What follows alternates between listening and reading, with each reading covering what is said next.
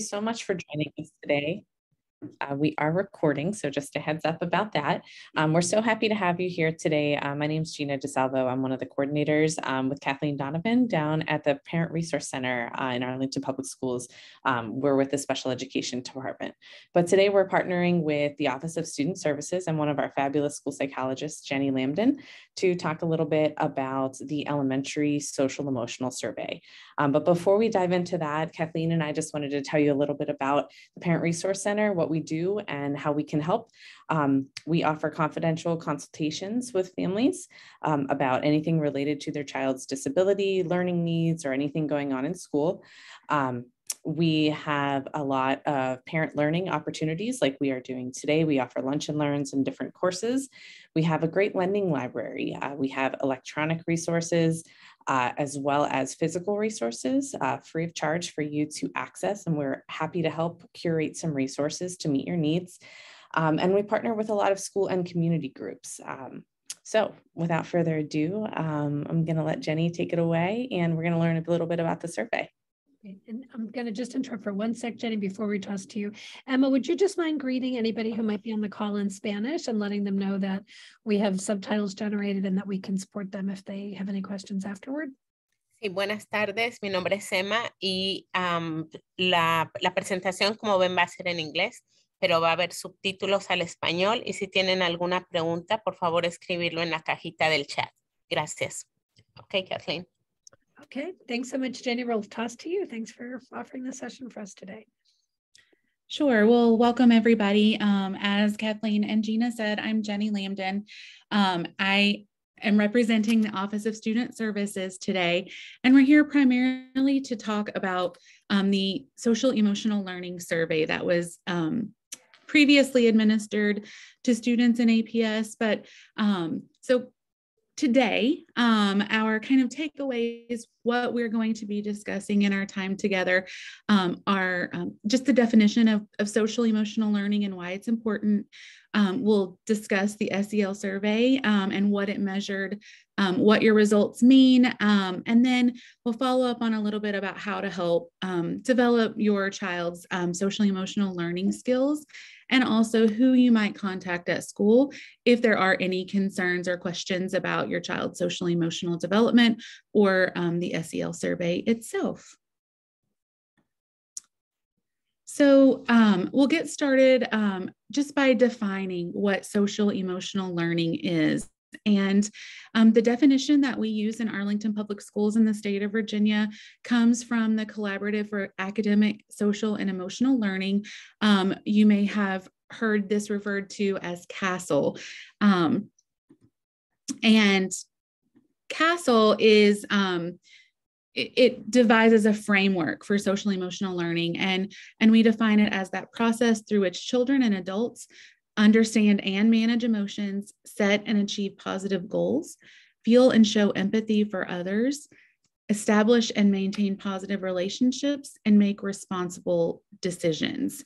Um, in Arlington, um, we also use the Virginia Department of Education um, SEL guidance um, framework um, to help us know what is expected of students at different developmental um, junctures in their life. And what we know is that um, SEL is meant to not be something that's in addition to academic learning, but it is meant to um, boost academic perform- performance and deepen um, students' engagement with um, their learning and their communities. Um, SEL in Arlington Public Schools and in general is not meant to serve as um, therapeutic. It is a way that we um, help students build and um, build relationships and, and skills that they need to, to just be healthy and well-rounded students. Um, we are not setting forth any particular agenda. We want students to understand different perspectives and share their ideas about their perspectives and thoughts. Um, and we really want to shape student social emotional learning um, as, as needed within the school and the community and their families. In um, the CASEL framework, um, CASEL identifies kind of five broad um, competency areas. Um, and those are as follows. Um, Self awareness is first, and this is really how students can accurately um, recognize their own emotions and thoughts and how emotions influence behaviors. This includes um, how students learn about different emotions and explore their own personal strengths and challenges.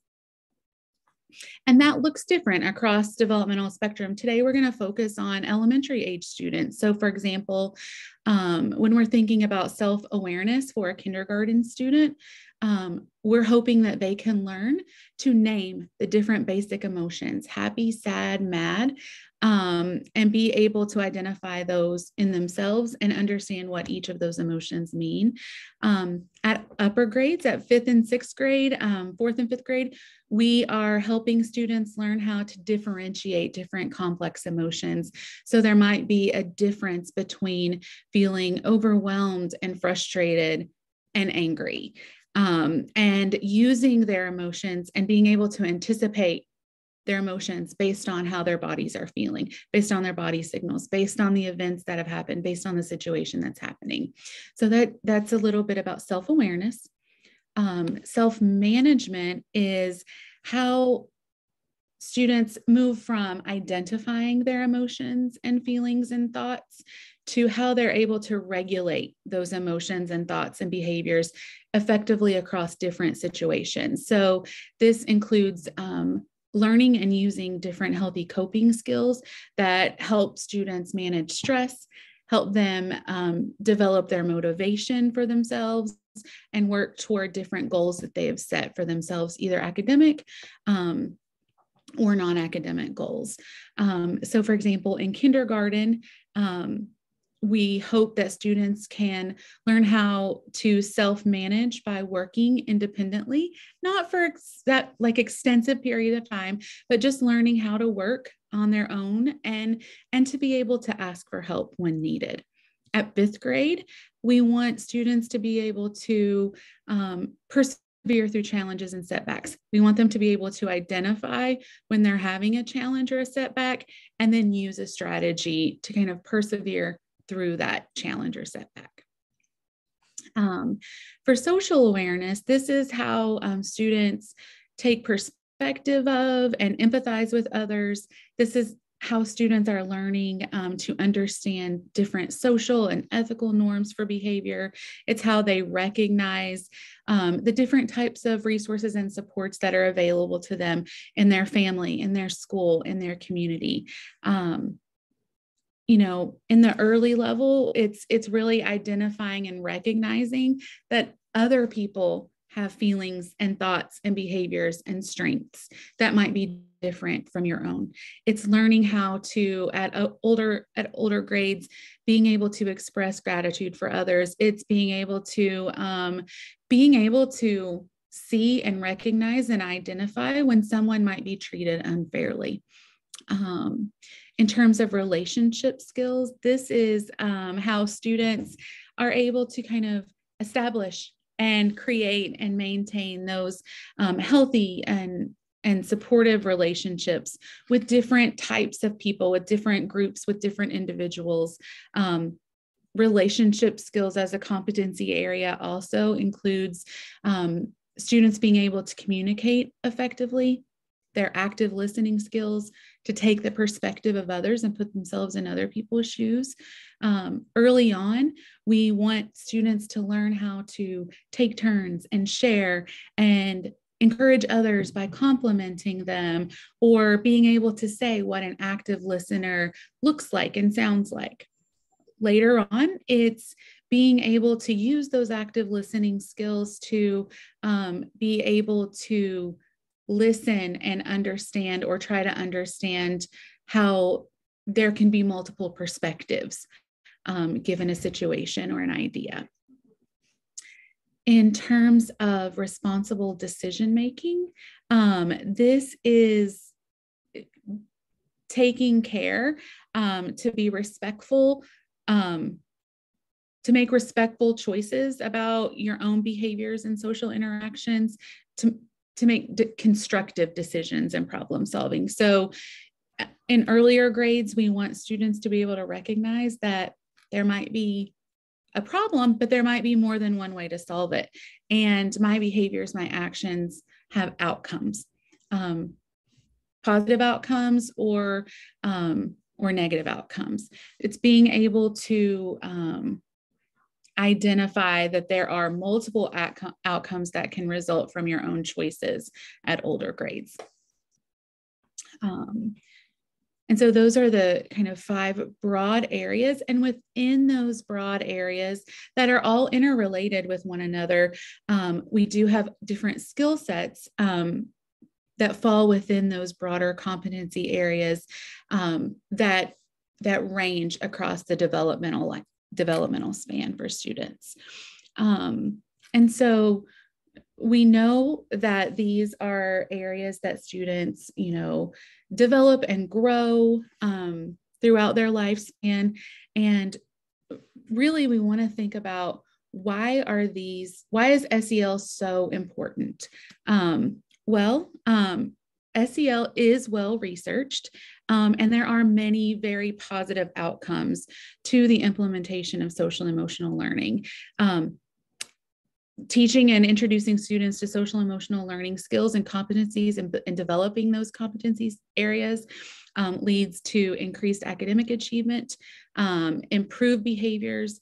There is a strong return on investment. Um, so by teaching students these skills, um, they are able to uh, move forward in their life um, and be successful.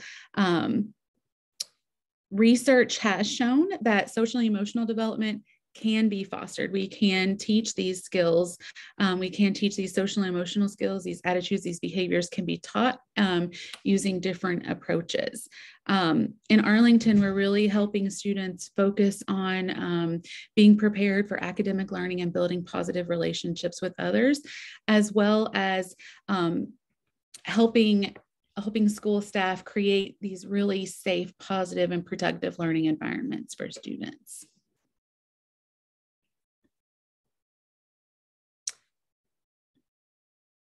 We do um, SEL in Arlington Public Schools. Um, we do align our social emotional learning with the Virginia SEL guidance standards and the CASEL framework.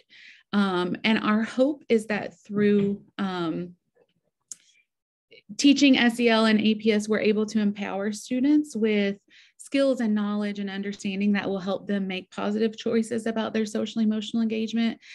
We hope to model and teach and reinforce those pro social skills that can align them to college, career, and life readiness skills um, we want students to have opportunities to engage with people who might be different from themselves in a very constructive and collaborative way.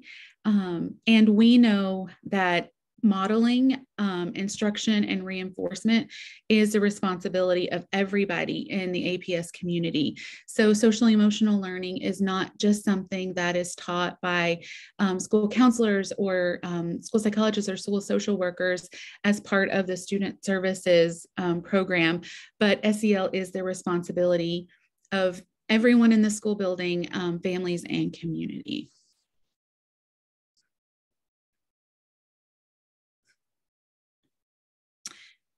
One way um, that we have um, identified a need to be able to provide appropriate social emotional learning supports in Arlington Public School is to um, administer the social emotional learning survey. Um, and the purpose of this survey is really to serve as a way to to collect data and information to help our educators um, understand what their students' general social emotional skills and competencies are. Um, and we use that data to inform our curricular and programming decisions. Um, in APS, this survey is administered to our students in grades three through 12 two times a year um, so that we can um, gather information about our students' strengths and their areas for growth in those social emotional um, competencies so that we can um, build school programming um, a- across the entire school that supports our students' socially emotional needs. Um, and the data from the survey is shared with um, parents are able to access their own students' results. It, all, it is also shared with um, the school division leaders and school staff so that we can um, create our own programs and our own schools action plans to support um, the needs of students in our buildings. Um, the first time the survey was administered, as you were aware, was at the end of October. Um, and students will also have the opportunity to participate in the survey again at the end of April. Um, and again, that data is used to help us really um, identify students' um, strengths and areas for growth. Um, the SEL survey um, in this in the fall uh, measured four different competency areas to inform um, the school's focus in the SEL curriculum. The um, growth mindset and self-efficacy, it does fall under the, the competency area of self-awareness. And um, this fall, we were measuring growth mindset or how students perceive whether or not they have the potential to change factors that are really important to their performance in school. Um, are they able to um, perceive that they have ownership over their learning? Um, self-efficacy. This is um, this looks at how students believe that they can achieve, um, succeed in achieving academic outcomes. It also looked at self-management such as how students are able to manage their emotions, their thoughts, their behaviors given different situations. And then um, it also looked at social awareness and how students can take the perspective or consider this the perspectives of others and, and show empathy towards those, those individuals. So those were the four areas overall that were measured in the fall survey. Um, and I don't think you can see it there, but the survey was offered to students in several different languages. The student just needed to indicate which language they wanted to um, take the survey in. So I think a lot of what you're why you're here is how to find um, your own students' results. So in ParentVUE, um, parents are able to um, access their students' results on the fall SEL survey. Um, and there's a summary statement. And so the way you can find that is to log into ParentVUE. There is a document section in the left hand side menu. And a lot of documents might show up. What you're looking for are two different documents related to the social emotional learning survey. The first one is called SEL Results Report Parent Guardian Letter. And then there's another document um, that has your student's ID and name that's listed as survey under the document category. So that's a little bit. So you should be able to find your students' results in ParentVUE.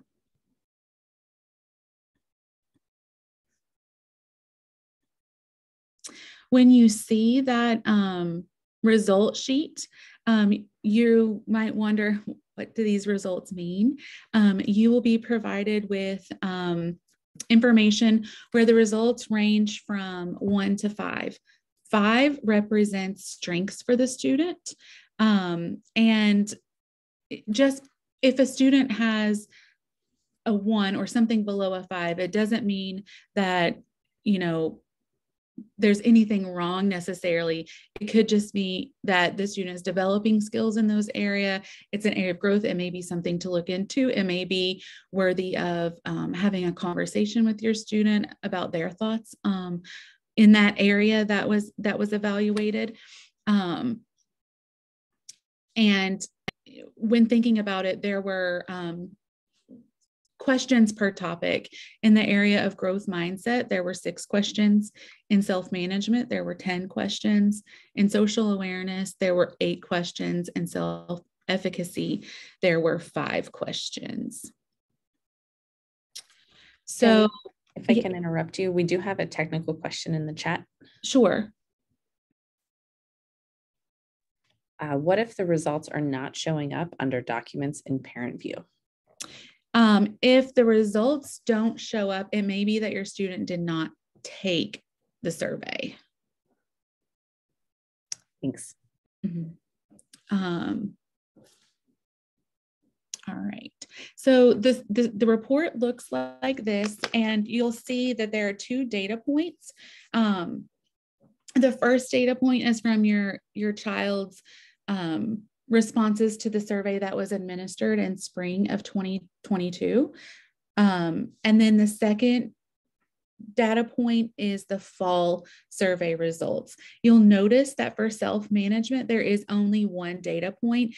Self-management was not um, evaluated. There were not questions pertaining to self-management in the fall. So we don't have anything to compare it to. Um, also know that um, when you're looking at your students' results, um, it is a snapshot in time. If your if your child were to take the SE, SEL survey again today, they might have different thoughts about how they would respond to um, those survey questions either because they've you know changed their mindset about something or if they've learned a particular skill or just something in their environment or situation or interaction with someone um, may have changed from day to day. So just know that it is a snapshot in time.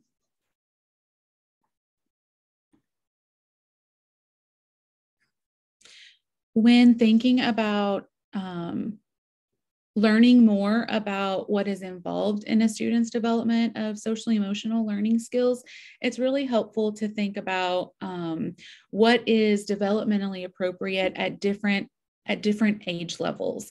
Um, one way that you can um, explore that is through accessing the Virginia Social Emotional Learning Guidance Standards, which were um, created and, and put forth in 2021. Um, and so we do use these guidance standards to help drive our um, programming here in APS. So um, once you get a copy of the slides, you can you can click on um, on this slide and click on the links to see what might be appropriate for or expected of students in different grade levels.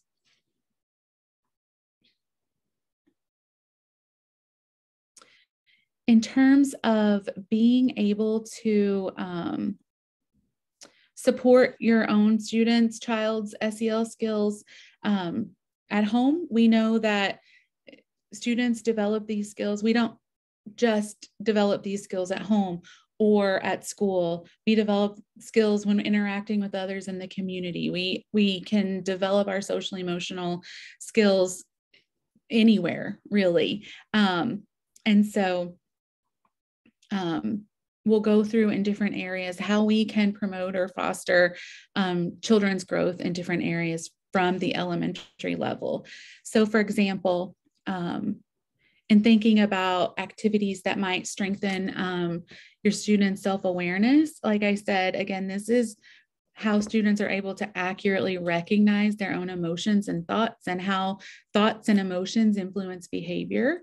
Um, it helps this area is also where we're hoping and helping students be able to explore their own personal strengths and challenges. Um, as parents or family members or, or community members, we can help children um, develop these skills by being honest about our own emotions, by modeling, um, by teaching the vocabulary of emotions, um, and supporting students as they're growing asking your child how they feel about certain situations. Share how you feel in different situations using that age appropriate vocabulary. Um, focusing on what your child's strengths are, talking about them, talking with them about what has gone well, but also um, giving praise for for things you've noticed you've worked really hard on this and i can see that you're really growing in X, Y, or Z, um, discussing ways that your child might be feeling and how and how those feelings can influence their behavior in different settings. All of these help promote um, self-awareness.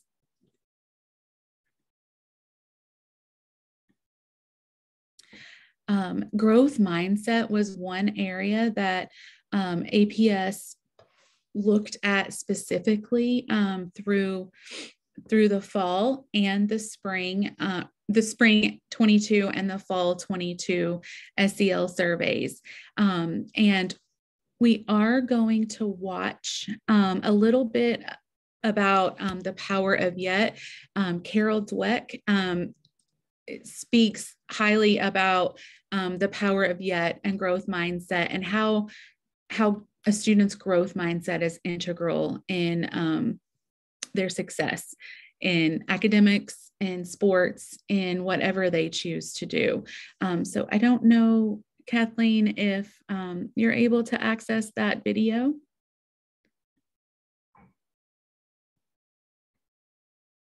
We'll just watch the first few minutes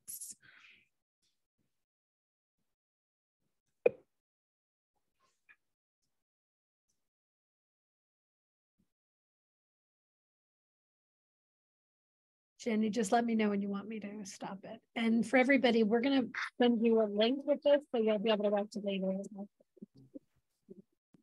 The power of yet. I heard about a high school in Chicago where students had to pass a certain number of courses to graduate. And if they didn't pass a course, they got the grade not yet. And I thought that was fantastic because if you get a failing grade, you think, I'm nothing, I'm nowhere. But if you get the grade not yet, you understand that you're on a learning curve. It gives you a path into the future. Not yet also gave me insight into a critical event early in my career, a real turning point. I wanted to see how children coped with challenge and difficulty. So I gave 10 year olds problems that were slightly too hard for them. Some of them reacted in a shockingly positive way. They said things, oops, they said things like, I love a challenge. Or, you know, I was hoping this would be informative they understood that their abilities could be developed. They had what I call a growth mindset. But other students felt it was tragic, catastrophic. From their more fixed mindset perspective, their intelligence, their intelligence had been up for judgment and they failed instead of luxuriating in the power of yet, they were gripped in the tyranny of now. So, what do they do next? I'll tell you what they do next. In one study, they told us they would probably cheat the next time instead of studying more if they failed a test. In another study, after a failure, they looked for someone who did worse than they did so they could feel really good about themselves. And in study after study, they have run from difficulty. Scientists measured the electrical activity from the brain as students confronted an error. On the left, you see the fixed mindset students. There's hardly any activity. They run from the error, they don't engage with it. But on the right, you have the students with the growth mindset, the idea that abilities can be developed. They engage deeply. Their brain is on fire with yet. They engage deeply. They process the error. They learn from it and they correct it. How are we raising our children? Are we raising them for now instead of yet? Are we raising kids who are obs- obsessed with getting A's? Are we raising kids who don't know how to dream big dreams? Their biggest goal is getting the next A, oops, or the next test, test score? And are they carrying this need for constant validation with them into their future lives? Maybe because employers are coming to me and saying, we have already raised a generation good, of young workers who can't get through the day without an award.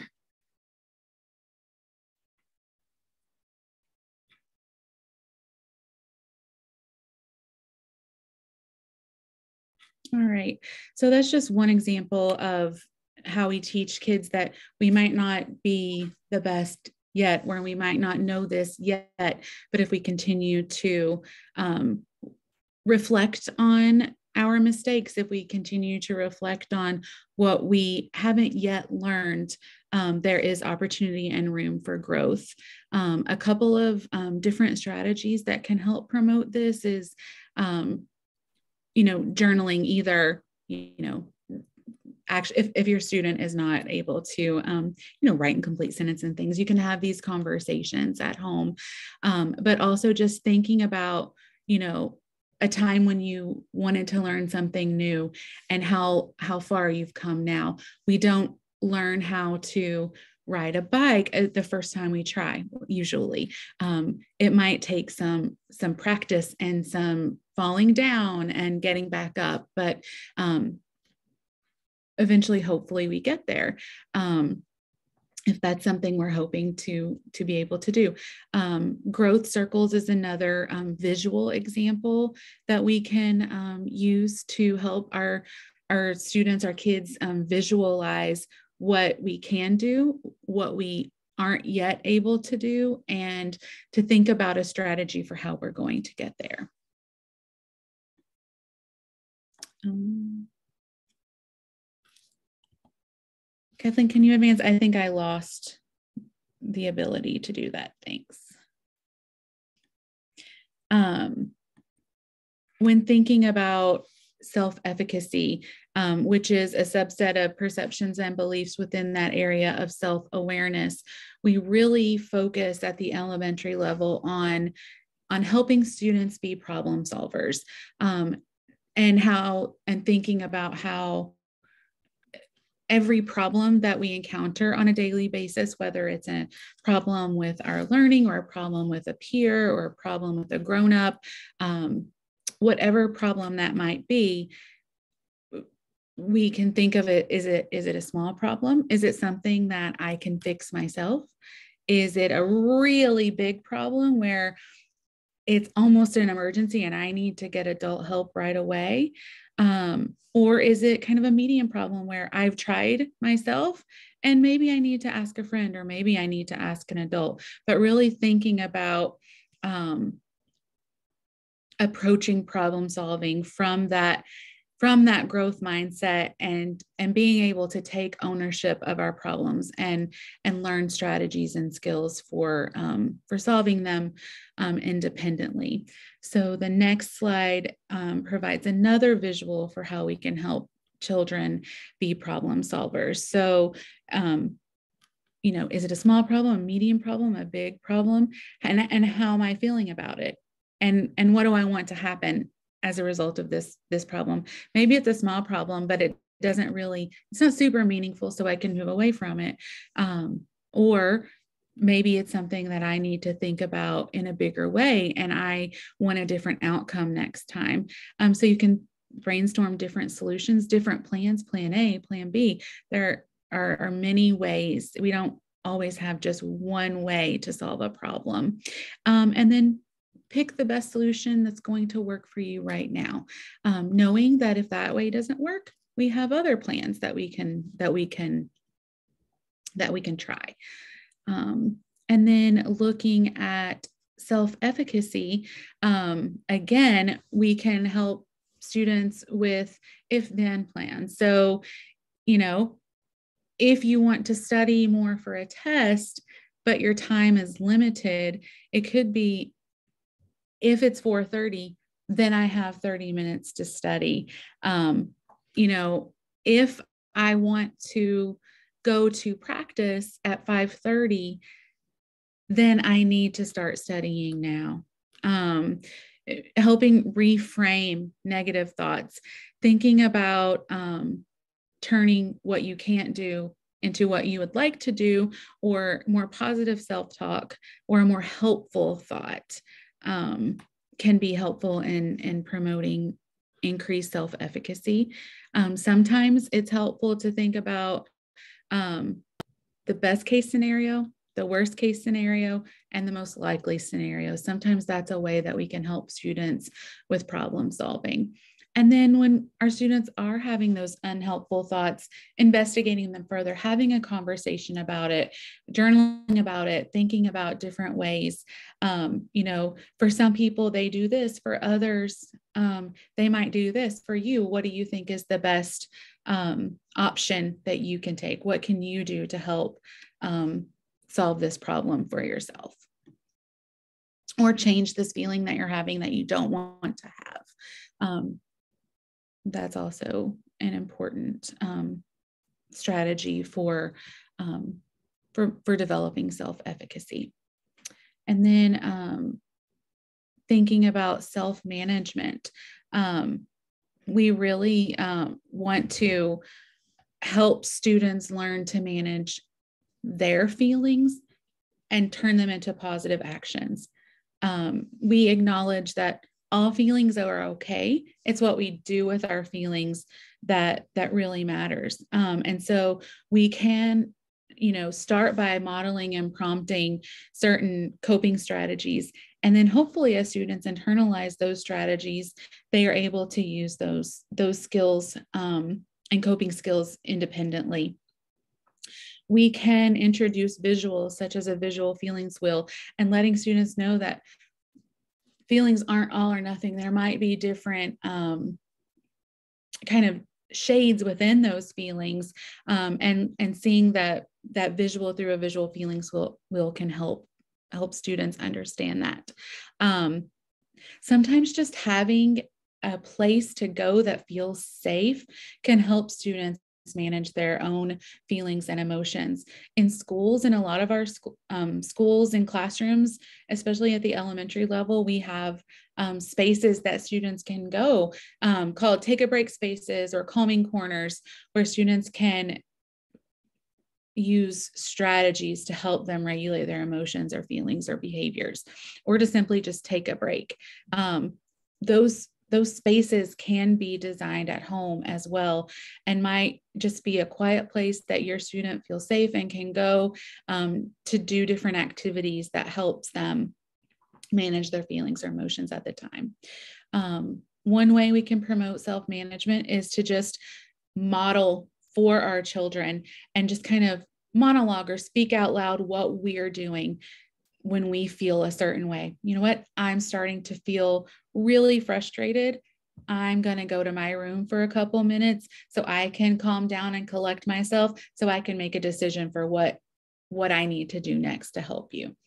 Um, sometimes there's the a framework called the concern feeling request framework. So um, when we're talking with our students, you know, my concern is your, your child can say this. My concern is that you have asked me to do this so many times today.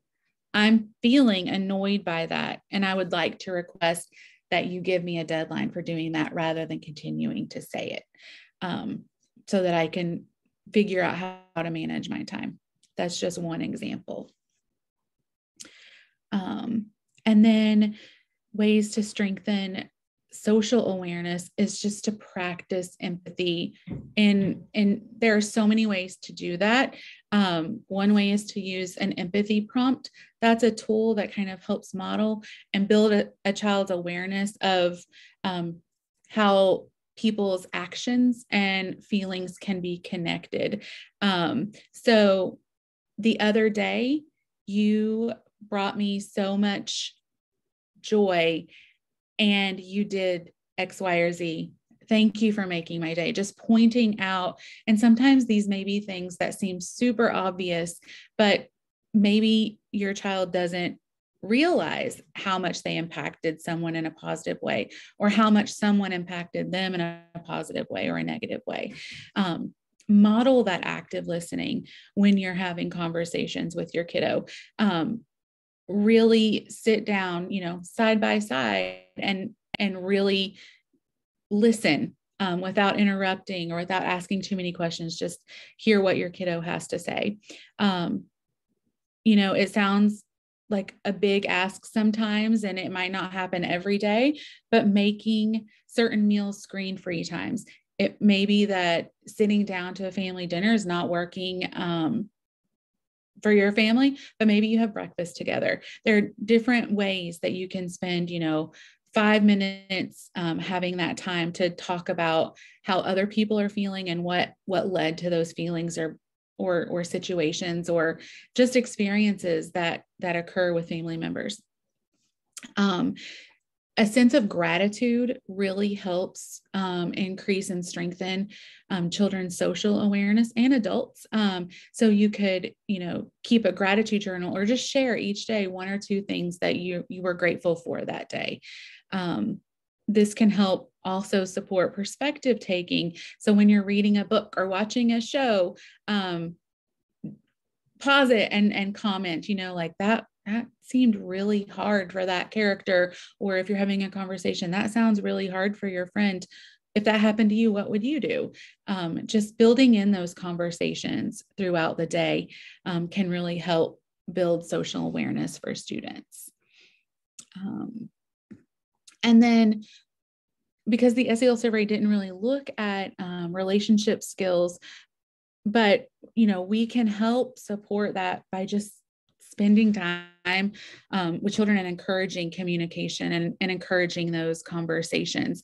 We can help students with resolving conflicts with others um, by working together in groups, um, discussing the different roles that that are within groups, and then um, for the the last competency area of responsible decision making, we can support those skills by helping students, you know, think through all the parts of a problem, encourage students to make their own decisions, to set their own goals, to evaluate um, their progress toward those goals.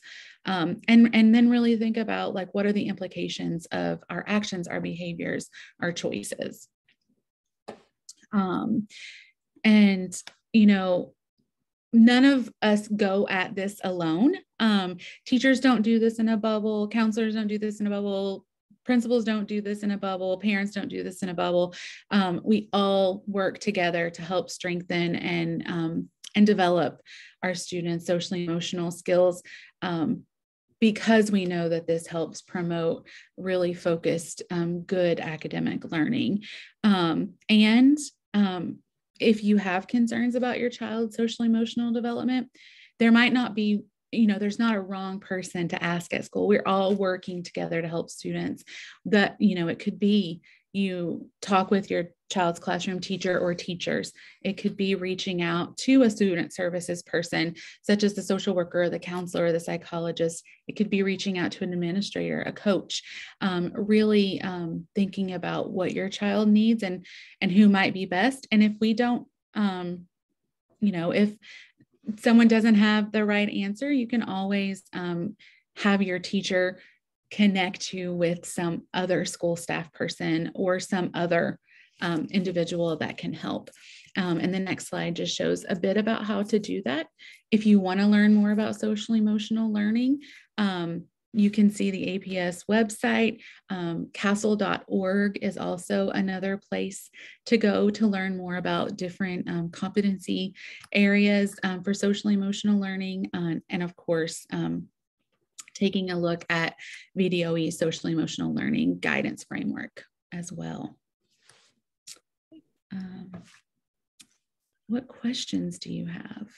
Well, before we turn to questions, Jenny, I um, forgive me for interrupting, but I want to make sure that before people have to log off and maybe get back to work, I wanted to thank you so much for offering this very thoughtful um, and helpful session. I think the very best kinds of sessions that we offer are ones that include practical tips. And you gave us so many of those wonderful tips that families can use at home. So thank you. Thank you to um, Wendy Crawford and Heather Davis. Um, and Jennifer Gross for helping to coordinate the session. We're also grateful and honored that one of our school board members joined us today. Mr. Goldstein is here. Um, Reed, thank you so much for your ongoing support of our students and staff and families, and we're glad you could join us today. Um, if anybody has any other words they'd like to share before we turn to questions, but feel free. All right, I see um, one of the questions is what instruction was given from school staff while administering the survey? And we're